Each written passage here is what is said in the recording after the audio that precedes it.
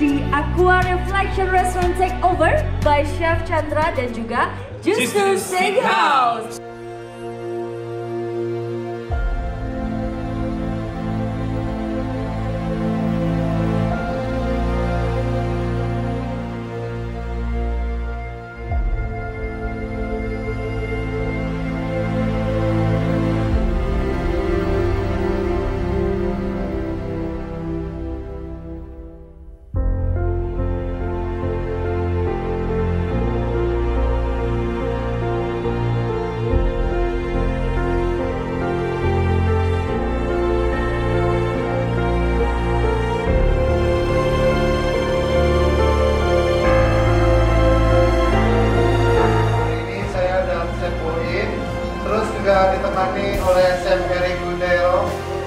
Perancis, Chef Choi dari Delanim,